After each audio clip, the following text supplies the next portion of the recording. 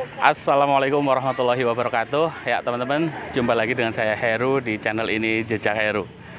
Ya teman-teman, eh, setelah perjalanan yang cukup jauh ya dari Rimbu Bujang sampai di sini nih Sitiung 1 Blok B Tadi saya sempat kesasar hampir sampai ke Timpeh karena nyari satu titik ini teman-teman. Karena eh, kita di Google Map itu cari Tugu Transmigrasi. Ternyata arahnya malah ke uh, Timpeh di transmigrasi juga.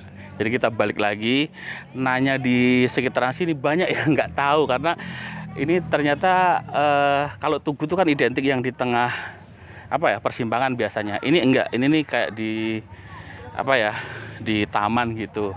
Nah ya barangkali bisa kita sebut uh, monumen kali ya.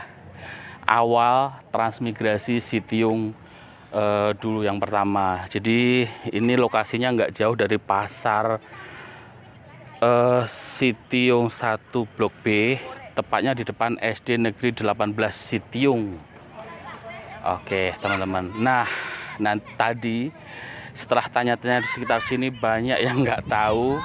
Akhirnya saya tunjukkan fotonya dan nanya ke polsek sini akhirnya diantar sama Pak Riki, Pak uh, polisi, terima kasih. Tapi beliau nggak mau divideokan. Yang jelas terima kasih udah ditunjukkan ke sini. Akhirnya ya udah kita nyampe di sini. Ya ini uh, ya kayak taman gitu, tapi agak sedikit kurang terawat. Dan kalau sore nampaknya ini untuk ya nongkrong-nongkrong anak-anak remaja ini ya ini seperti kita lihat ya. Oke, kita coba deketi masuk karena di sana ada nama-nama ya bisa dibilang para pahlawan transmigrasi ya yang sudah gugur dan namanya dituliskan eh, di sana. Oke. Ya Mbak ini rumahnya sekitaran sini ya? Iya. Oke ya lanjutkan aja. Oke teman-teman. Ya ini jadi kita sebut apa nih ya? Monumen kali ya? Diresmikan oleh Menteri Tenaga Kerja Transmigrasi dan Koperasi 23 April 1977 tapi nggak tahu ini nama menterinya siapa. Jadi kami persembahkan kepada kawan-kawan yang telah gugur dalam pelaksanaan pekerjaan proyek Sitium jadi ini adalah para eh, pelaksana pengerjaan proyek pembangunan transmigrasi Sitiung ada empat nama di sini. Yang pertama Toha Fauzi, operator Direktur Jenderal Bina Marga. Yang kedua Muhammad Kundori, operator ya sama ya Bina Marga. Terus yang ketiga Bambang Sugianto, juru ukur eh, pengairan.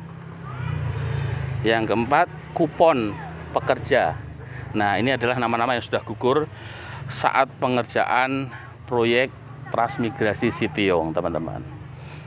Oke, jadi akhirnya ketemu juga.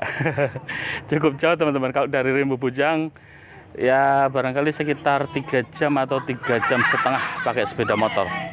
E, santai tapi ya. Akhirnya ketemu. Eh, saudara-saudara kita dari Wonogiri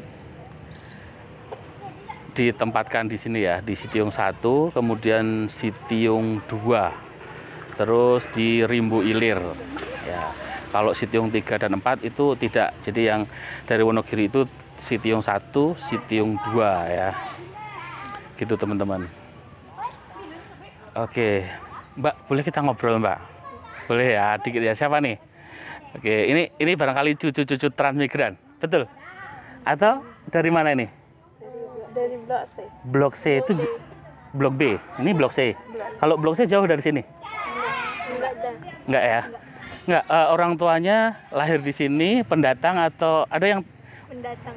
Pendatang dari mana? Padang. Oh dari Padang ya? Semuanya dari Padang? Enggak. Enggak. Enggak juga. Ada yang mbahnya transmigran? Ayah, ayah dari Jambi.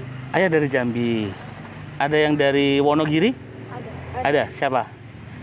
Siapanya? Uh, Neneknya? Nenek Oh neneknya dari Wonogiri ya. Kalau Mbak, Mbak siapa namanya? Nova. Mbak Nova. itu berarti cucunya ya, cucunya dari Mbah tadi yang transmigran ya. Sekarang Mbaknya di di sini ya, blok di sini ya. Oke oke, boleh digambarkan nggak? Seperti di sini nih kawannya campur, campur ya dari Padang, dari Jambi gitu ya.